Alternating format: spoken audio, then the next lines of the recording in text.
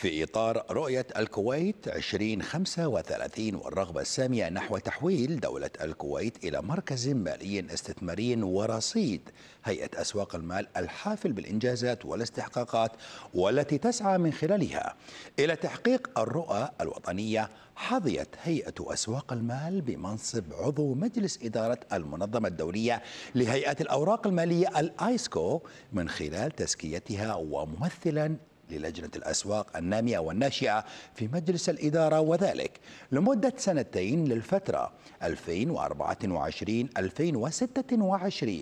وتعد هذه المرة الثانية على التوالي والتي تفوز هيئة أسواق المال بهذا المنصب.